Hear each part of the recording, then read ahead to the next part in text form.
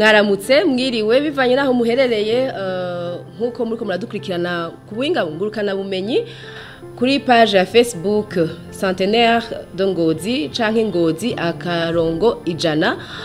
Eh, aho tubazaniye rya higanwa rimaze iminsi riba eh, ry'ururirimbo rwa mbere ruzotorwa ku munsi wa gatandatu itariki mirongo ibiri aho hazotanguzwa umwaka wo kwinjira muri yubire aho igisagara ca ngozi kizaba imyaka ijana. Abo muri kumwe eh, hano jewe ni nora ndizeye nkaba ndi uwo muri ingo canke ingo magazine.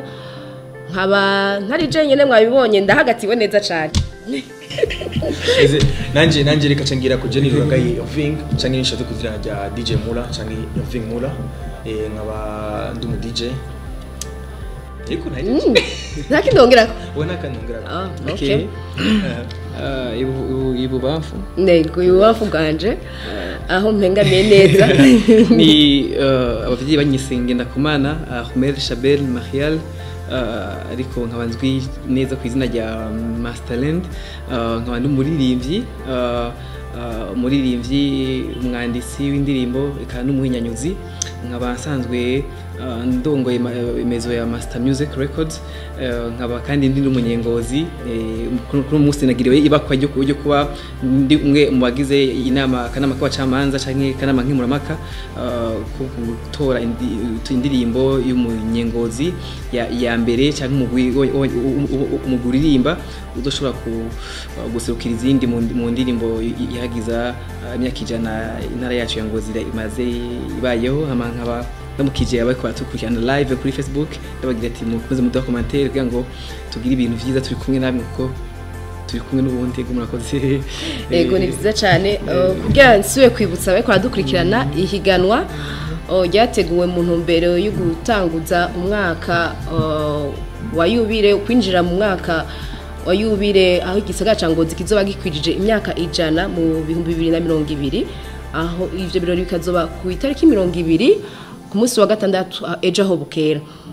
Iryo higanwa ukuntu ryatunganijwe ryahamagariwe abaririmbyi canke imigwi y'abaririmbyi b'abanyengozi canke imvukira za ngozi aba- abafise abavyeyi eh, bavuka ingozi. Hama mu vyisunzwe muri iyo higanwa eh, DJ Mula ashaka kuca agira ko atubwira ivyisunzwe muri iryo higanwa kugira tubabwire aho twarabiye kugira abo bantu batogwe. Um, i- i- i- igano ryaratanguye na zo ariko rimaze imi- igihe kirekire. Ba- barabibona kuri facebook maso barabona ko abantu benshi ba- barabyitabiriye cyane. Turabona abantu benshi bagira amakomantere kuri facebook. Um, uh, haciye nk'indwi nka zitatu uh, rya- rya- ryaragiye ku mugaragaro abantu benshi bayibona. Uh, twarashize rero kuri, facebook ku rubuga ngurukanabumenyi aho abantu tubabwira ati bitorere bonyine abarinzi babashaka cyangwa bakunda kuko naho hari nyine mu akazi kacu hariho n'abantu bakurikirana babakunda sinzi bakurikirana kimwe rero mu bintu nabaza yuko twaravye ni kuraba ingene abantu babakiriye. Turavye ingene bakomanta kurumva indirimbo si gwacu si gwacu indirimbo ni y'abantu indirimbo niyo bayumviriza. Tubahaye indirimbo zatushika ku mugaragaro. Twabahaye ah, twagura umuryango ngira abantu bashobora kugira icyo bita ngo commentaire cyangwa kuvuga icyo biyumvira kuri izo ndirimbo cyangwa uko bazibona rero icyo twakiravye kiri mu bimwe twa- twaravye um, Uh, twaravye ubwo dushobora kuvuga ati reka turabice ico kintu ko turikonzera cyane ko abantu ico bavuga. Hama ikindi twashoboye kuraba ni uh, ni ingene indirimbo ikozwe. Iyo mvuze indirimbo ikozwe ni, ni, ni, ni technique uh, amajwi. amajwi bibaza ko abantu benshi usanga eh, benshi biragoye. Uh, turabireba cyane kurumva ni indirimbo ihageze igisagara kimaze imyaka ijana. Um, ni- ko indirimbo isohoka cyangwa indirimbo isohoka imeze neza cyane amajwi asohoye neza cyane ikindi twaravye um, ni ku vyerekeye ingene indirimbo ikozwe iyo mvuze mvuze umudiho mvuze ah, mvuze icyo bita melody mvuze ingene indirimbo ah, aho indirimbo ingene bay- bayambitse. Ingene yubatse. ingene yubatse. Master Land ngo arabyumva cyane. Cyane, niyo yobisigurira arubaka kugira cyane. kugira abariko batwumviriza batahure n'abatanze indirimbo zabo ntibazi bavuge ngo twaribwe Land Yego. ashobora kubasigurira Yego. ico twi- tuhagazeko cyane cyane muri tekinike. Nibaza ko du- tuvuze ko eh, y'ubuhinga y'ubuhinga ku, ndirimbo. Ariho ijambere na mbere du- dushyira imbere n'ikintu bita uh, umwimerere canke uh, uh, umwimerere w'indirimbo ifise. Hari- harimwo uh, ni creativité akaca habaho akaca habaho na n'ukuntu yubatse muri uh, muri beat ukuntu yubatse tu- tu- tu- turavuga ibi- ibi- ibiyigize ukuntu yavugijwe ama arrangement ukuntu ivugijwe uh, hakabaho na vocal technique uh, i- ijwi ry'umuririmbyi ukuntu risanzwe rimeze ukuntu umuririmbyi asohora ijwi kumva ko ari umuririmbyi abimenyereye ukuntu yubaka icyo tuvuga harmoni biri mu mu mugwi w'amajwi. Hama akaca baho n'ikintu novuga nka mixage na, mastering ukuntu indirimbo quality yayisohoka ivuga ukwiye kuntu wumva indirimbo ifite inguvu yuko yashiye muri studio imeze neza yubase neza nico nubwo nuvuga ko ko twisunze muri kote uh, iri- technical cyane. Ego amangira ngo bishe bagira bijanye no- n'amajambo ukuntu canke, um, kubera ko kiri mu bintu binini cyane. Inyubako y'amajambo. Murumva yuko hari ibintu bitandukanye vya- vyarabwe urumva harimo rero n'amajambo y'indirimbo aho turaba iyo ndirimbo ko ihayagiza igisagara ca ngozi kubera ego ni ukwerekana igisagara ca ngozi. Ni urubanza rw'igisagara ca ngozi. Donc eh, iyo ndirimbo. Imyihenyuro y'amajambo. Y'amajambo yuko kandi n'amajambo aguma agaruka amajambo arimwo hariyo kuririmba ko ari imyaka ijana igisagara ca ngozi kizoba kimaze.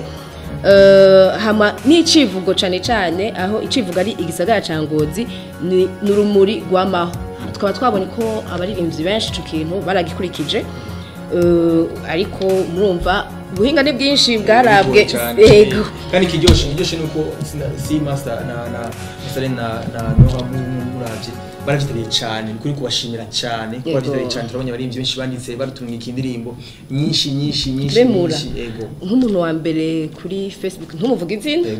Nko kuri page ya facebook ya centenaire umuntu yoba yarabwe cyane yoba yaronse nk'ama bavuga indabo like na views Views, views mu Kirundi. Inshuro, inshuro, inshuro zo kuraba. bibiri kandi ariko araduga n'ubu. Ariko araduga ntabwo ari indirimbo zari zimaze iminsi ingahe kugira indirimbo bamenye ariko badukurikira iminsi ine tuzishyizeho Ah, si iminsi myinshi cyane. Ubwo urumva yuko abantu kandi icyo nabwo nukuri washimira cyane ko urumva barabikoze babyitayeho barabikoze baranditse izo ndirimbo baragiye muri studio. Ni ikintu cyo kubashimira cyane. Bari kugera kuri komateri kuri facebook bikomera amashyi Yeah. ni cyiza cyane ko biraryoshye cyane kubona baragize ibyo bintu Yeah. ni byiza cyane turabandanya eh, twese twararose umwanya wo kwi- kwihweza. Kumviriza ego.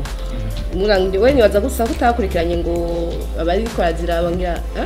narabaravye bose kubera biraryoshe kubaraba. Aho master naza yuko wewe afise n'ivyuma bikomeye cyane. Masare ndabona ntiyatanga kutubwira ibyo ntituva ngaha sinzi bari kuradukirana murafise umwanya ukwiriye kubandanya baraturaba baraturaba Ni akomati batubwire Yego. Turi- turiko turabiraba kuri hano. Ahubwo ni byiza tubaye tuhaye n'aba- n'aba- n'abagiye muri competition bose ingene bangana bose.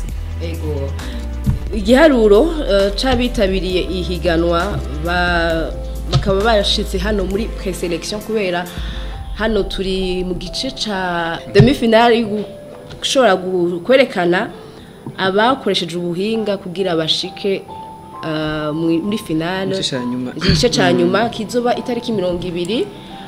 Ni ku munsi wa gatandatu ejo aho bukera ku gasaka ku gasaka ingozi kwa Yego, ni kuri lompwe basha bahabona nyine kuri rompwe y'agasaka kari na runyonga kiye giti cy'agasaka dukikuje ya nyubako ya province abahabona hegereye stade agasaka nibuza ko ni ku gasaka nyine ku mutima w'igisagara nizo ariko batura dukikirana zo kubaza ko baza babizi kandi Yego. akibona Yego. amareka se tuca tugenda ku amerika tuba tureza ni Yego. tugera gakoze gatonya ba kitugaruka sivyo mugabo umwanya dukurikirana amakomantere menshi amalike menshi mu partage benshi babimenye bumenye ko biko biraba muri akanya turi live yego